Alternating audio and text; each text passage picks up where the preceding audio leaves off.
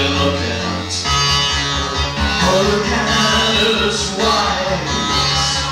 They are lovely as objects of.